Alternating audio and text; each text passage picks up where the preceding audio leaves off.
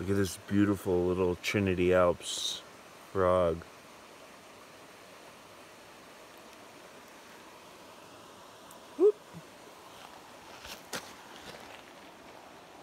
That is a beautiful frog.